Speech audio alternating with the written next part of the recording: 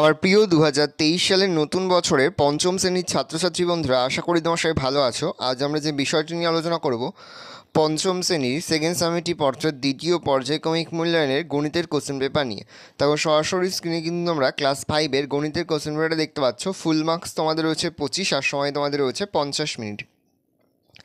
একের দাগে প্রশ্ন দিয়েছে, নিচের প্রশ্নগুলির উত্তর দাও যে কোনো পাঁচটি। প্রতিটি প্রশ্নের মান এক করে এক ইন্টু পাঁচ সমান সমান পাঁচ। প্রথম, ষোলো বাই চব্বিশ ভগ্নাংশটিকে লঘিষ্ঠ আকারে প্রকাশ করো। পরের শূন্যস্থান পূরণ করো, দুই বাই সাত সমান সমান, ওপরে শূন্যস্থান বাই চোদ্দ ইজিক্যাল টু ওপরে শূন্যস্থান বাই আঠাশ। পরের প্রশ্ন, দশ পূর্ণ পাঁচ বাই আট মিশ্র ভগ্নাংশটিকে অপ্রকৃত ভগ্নাংশে পরিণত করো। পরের প্রশ্ন, চুয়ান্ন বাই সাত অপ্রকৃত ভগ্নাংশটিকে মিশ্র ভগ্নাংশে পরিণত করো। পরের প্রশ্ন, আয়তকার চিত্রের পরিসীমা ইজিক্যাল টু ড্যাশ পরের প্রশ্ন, বলাকার চিত্রের ক্ষেত্রফল ইজিক্যাল টু ড্যাশ দুয়ের দাগে রয়েছে, নিচের প্রশ্নগুলির উত্তর দাও যে কোনো তিনটি প্রশ্নের মান দুই করে দুই গুণ তিন সমান সমান ছয়। প্রথম প্রশ্ন এক এবং দশের মধ্যবর্তী মৌলিক সংখ্যাগুলির যোগফল নির্ণয় করো। পরের প্রশ্ন, দুটি সংখ্যার যোগফল দু হাজার চারশো কুড়ি এবং তাদের বিয়োগফল এক হাজার দুশো চব্বিশ হলে সংখ্যা দুটি কী কী? পরের প্রশ্ন, পাঁচ বাই সরি তিন বাই পাঁচ ও চার বাই সাতের মধ্যে কোনটি ছোট ও কোনটি বড় লেখো? পরের প্রশ্ন, একটি আয়তাকার জমির ক্ষেত্রফল নশো আটশো বর্গমিটার। যদি জমিটির দৈর্ঘ্য চুয়ান্ন মিটার হয়, তবে তার প্রস্থ কত? পরের প্রশ্ন প্রদত্ত ভগ্নাংশগুলিকে ছোট থেকে বড় সাজাও।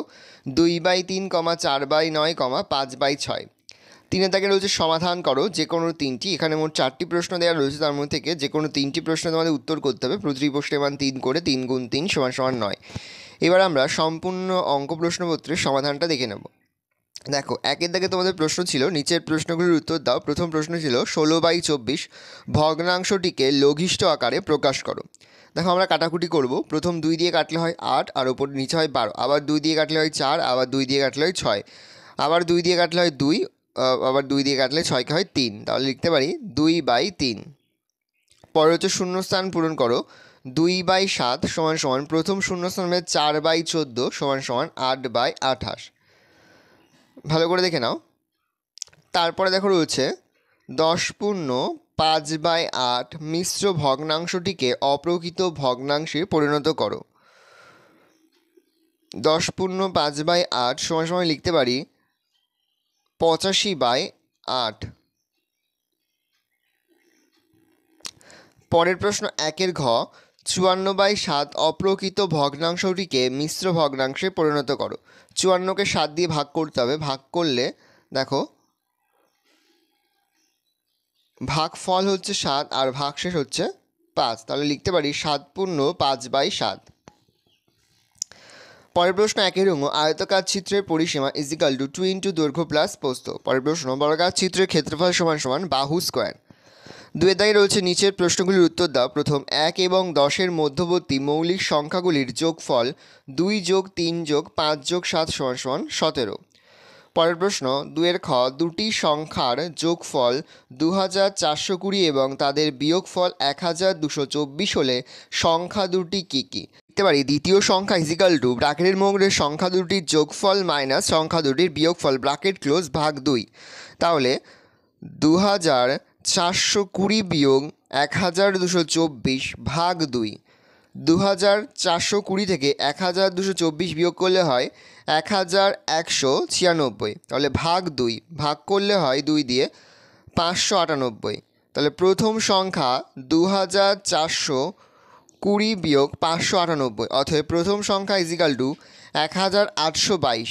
পরের প্রশ্ন, তিন বাই পাঁচ ও চার বাই সাতের মধ্যে কোনটি ছোট ও কোনটি বড় লেখো তাহলে তিন বাই পাঁচ কমা চার বাই সাত। যেহেতু পাঁচ আর সাথে লসাগু যায় না, তাহলে পাঁচ গুণ সাত সমান সমান পঁয়ত্রিশ। তাহলে পঁয়ত্রিশ ভাগ পাঁচ সমান সমান সাত আর পঁয়ত্রিশ ভাগ সাত সমান সমান পাঁচ। তাহলে তিন বাই পাঁচ সমান সমান তিন বাই পাঁচ, উপরে সাত দিয়ে গুণ করব, নিচেও সাত গুণ করব। তাহলে সমান সমান একুশ বাই পঁয়ত্রিশ।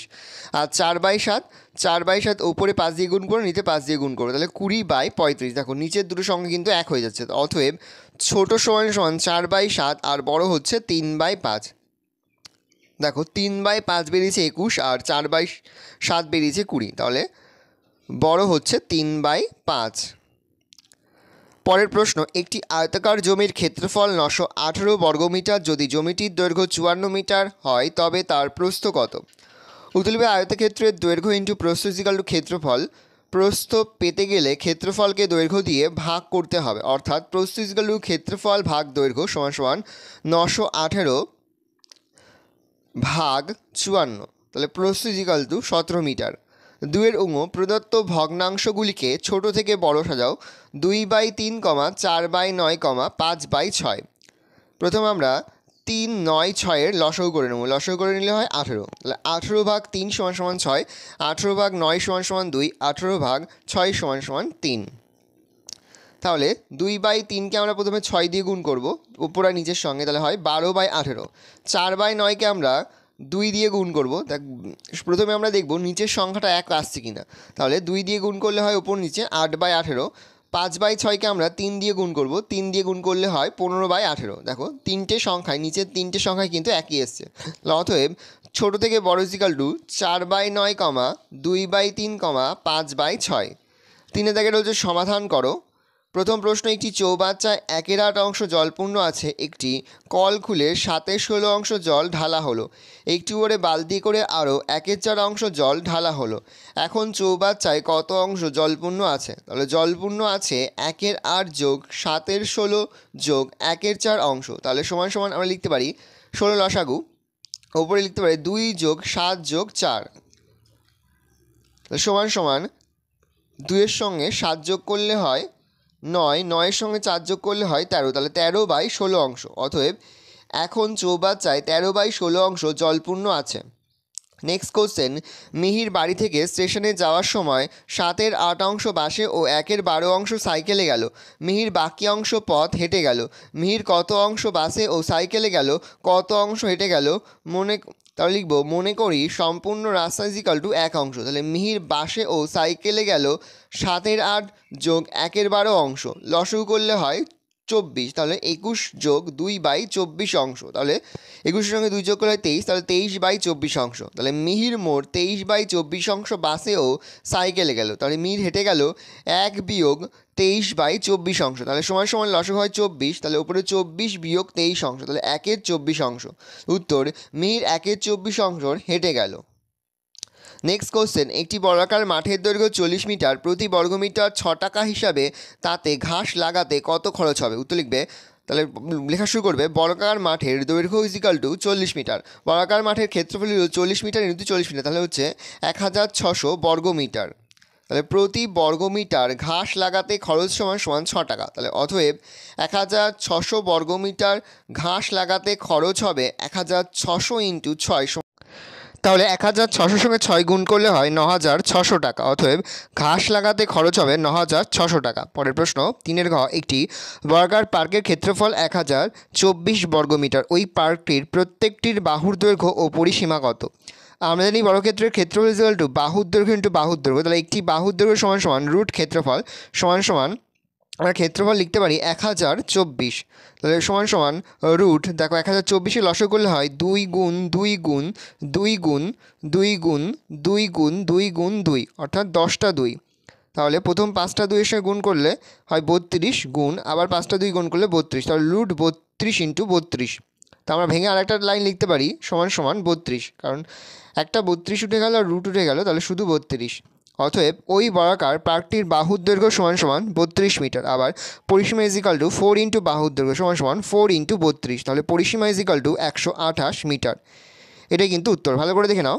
ভালো করে দেখে নাও, এই রয়েছে পঞ্চম শ্রেণির সেকেন্ড সামেটিভ অর্থাৎ দ্বিতীয় পর্যায়ক্রমিক মূল্যায়নের গণিতের কোশ্চেন ভালো কোশ্চেন দেখে নাও। এই ধরনের কোশ্চেন প্যাটার্নেই কিন্তু তোমাদের প্রতিটি স্কুলেই সেকেন্ড সামেটিভ অর্থাৎ দ্বিতীয় পর্যায়ক্রমিক মূল্যায়নের প্রশ্নপত্র হবে। সেহেতু ভালো করে তোমরা কোশ্চেন পেপারটা দেখে নাও। আশা করি ভিডিওটা ভালো লেগেছে। ভিডিওটা ভালো লাগলে ভিডিওকে লাইক করতে দিতে ভুলবে না। আর আমার চ্যানেল নতুন হাউত লাল কালার সাবস্ক্রাইব প্রেস করে পাশে বেল আইকন সে প্রেস করবে যখন নতুন কোনো ভিডিও আপলোড করি।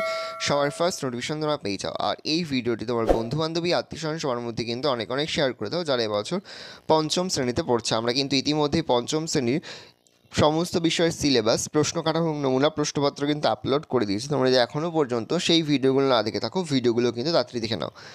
একেবারে ভিডিও শেষে স্ক্রিনে তোমরা একটা প্লেলিস্ট দেখতে পারবে, তার উপরে ক্লিক করলেই সমস্ত ভিডিওগুলোই কিন্তু তোমরা পর পর দেখে নিতে পারবে।